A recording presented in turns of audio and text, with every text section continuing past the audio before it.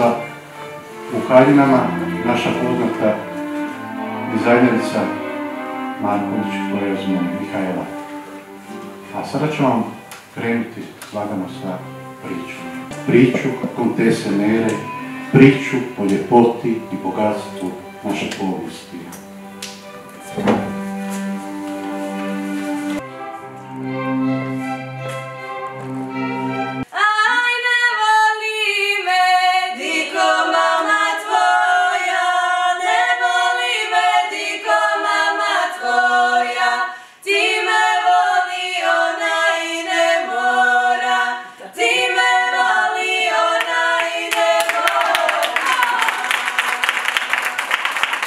Sve modele ove sljedeći gosti ovdje među vama moći ćete malo bliže vidjeti, osjetiti tu priču. To je priča ljubavi, to je priča nečeg lijepog što ste sve vi sigurno doživjele, jer ne bi bile ovdje. Znači probajte pročitati u svim tim modelima šta se je htjelo ispričati. Hvala vam puno.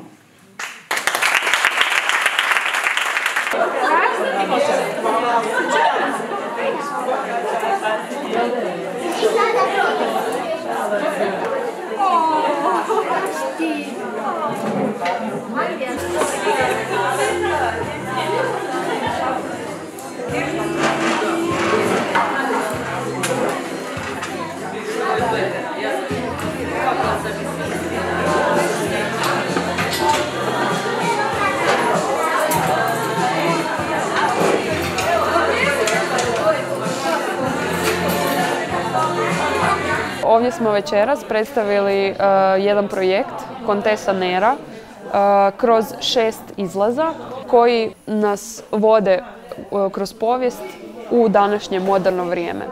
Taj projekt danas smo predstavili ovdje večeras u Oltenu, sutra smo u Cirihu, u trećem mjesecu u Ženevi. Specifičnost mojih modela je to da ja koristim te starinske vještine, pletenje, heklanje, ručni vez, ali na jedan potpuno moderan način. To, to su modeli koji su potpuno inovativni i kroz jednu moju viziju taj starinski rad, to očuvanje tih vještina dobiva novu dimenziju i ulazi u 21. stoljeće na velika vrata. Što se tiče e, ručnog dijela, znači e, surađujem sa grupom žena u Bosni, e, točnije u srednjoj Bosni u Gornjem Vakufu. To su žene koje su cijeli život imaju Uh, one su tkale, vezle, uh, plele, znači i- imaju tu vještinu i potrebno iskustvo. Ja sam evo slučajno došla do njih i počeli smo jednu lijepu suradnju prije nešto više od godinu dana.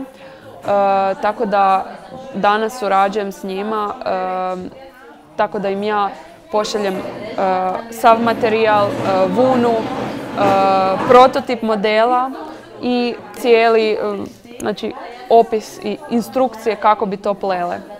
Još jedna specifičnost mog rada je što je svaki model uh, potpisan, ručno potpisan od žene koja ga je radila.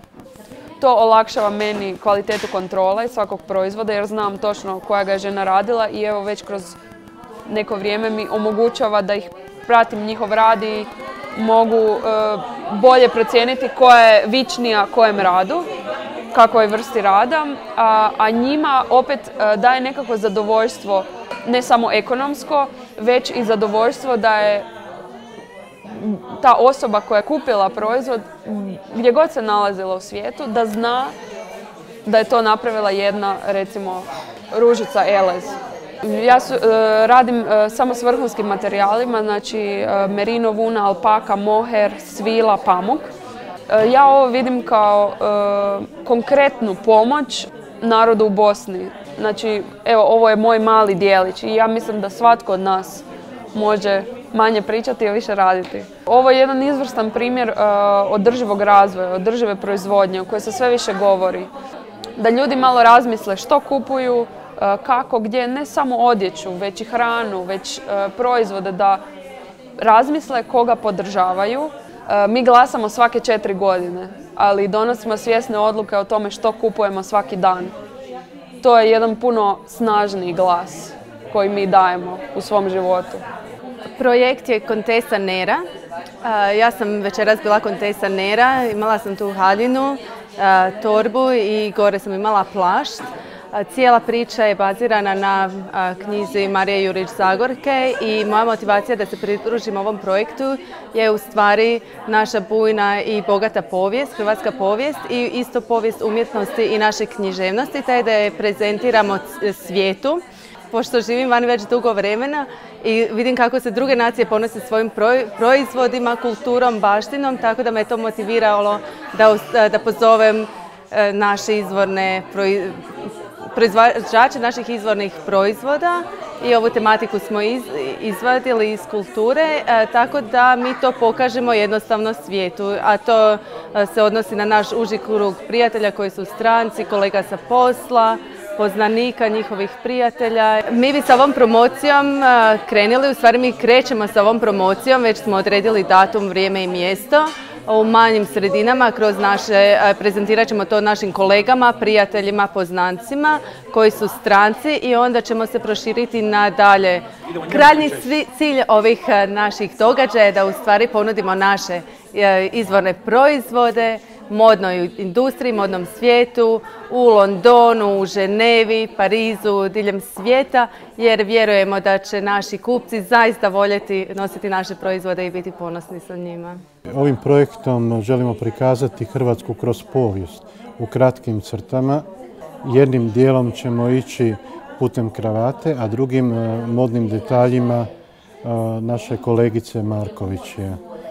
Želimo prikazati ljudima koji nose kravate, odakle je kravata i na koji i kako je nastala, a da uopće ne znaju ništa o tom, o, tom proizvodu. Večeras je bilo lijepi broj ljudi koji su nam pričinili veliko zadovoljstvo svojom nazočnošću, a u Ženevi ćemo imati više diplomatski krug i visoko pozicionirane dužnosnike Ženeve i okolice. Projekat će biti prikazan u dvorcu Chateau du Copé gdje će biti nazočni i vojnici kravat pukovnije. Znači, bit će kreacije naše kolegice Marković i kravat pukovnije. Projekat kreće drugog trećeg u Ženevi, a nastavlja se u Londonu 5.3. kod naše kolegice Mire.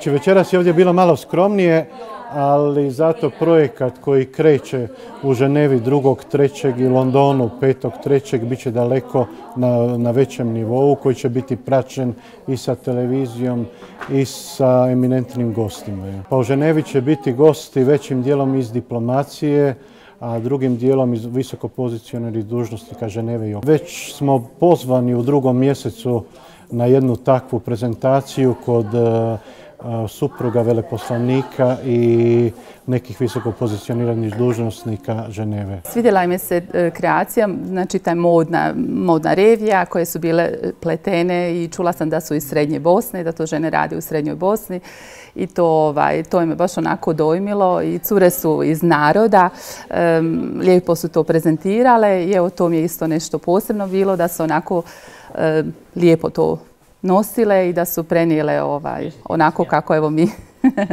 kako je to za narode. Lijepo mi je bilo, mislim, mogla bi svakom preporučiti, to je to.